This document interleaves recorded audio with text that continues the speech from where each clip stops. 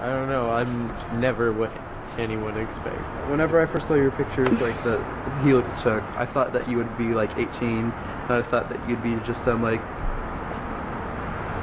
I don't know. Um, I just thought I thought you would be really cool, and you liked some of my tweets, so I was like, Yeah. he has good taste. See, he has good taste. You're out of the closet, right? I would suppose, like, since Mhm. you're doing porn, Yep. and you have a fiance, right? Mm-hmm. Yep. We're both out. It should. So Um, so what was your um, when did you come out?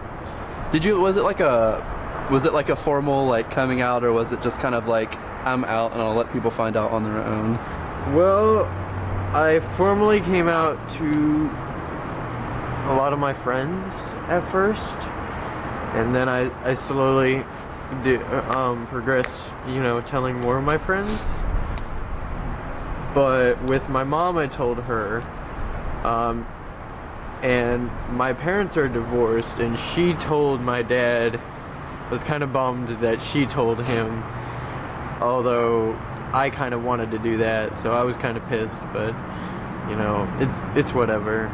But yeah, I'm pretty. I'm out to anyone that's that Right. asks anyone. You know, I'm I'm not gonna go around telling people, yeah, I'm I'm gay, but you know, it's it's just if it's significant, you know, I tell anyone. That's good.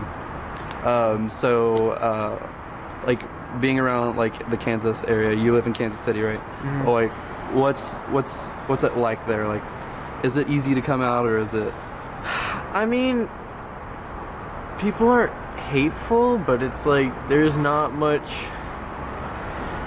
It's not exactly the most friendly of places for that. I mean, it's not. It doesn't really go either way because it's just not existent or they're more quiet there. Like, the pride is kind of small compared to other places.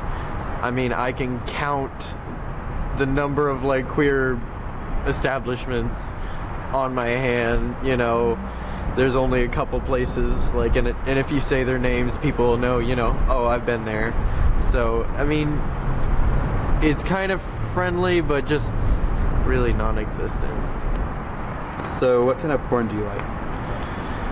Um really Twinkie stuff. Twinkie? Yeah, I can relate. yeah, um, I'm kind of like that. I like very, you know, I, I, I like a really boyish look, you know, innocent. Um, Could you describe the yaoi thing again? uh, I haven't heard of that. Yeah, I didn't know that was a thing. Like, um, like hentai. A lot of people, you know. See, heard- that's what that. I know. Yeah. Like. Hen- hentai. Yeah, that's like really the general term. It, I mean, it means pervert, so it's like just the general term for their porn. Like, I'm into yaoi, like, you know, the male on male, and there's other ones, you know, yuri for like lesbian. There's a whole bunch of them. But yeah, I, I like yaoi. Um, you know, pretty guys, you know, it's hard to go wrong with that, so. So no like weird kinky stuff. Not that I can think of, honestly. N- Nothing too crazy.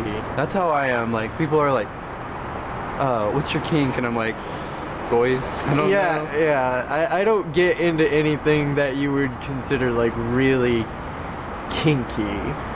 You know, just you know, mild. The stuff. basics. So, Um, so what's your fantasy? um, I think it'd be hot to do it outside. Outside? Yeah. I've never done it outside. hmm Like, what do you mean? Like, what would you want to do? Well, um, I would do anything. Anything? honestly. you know,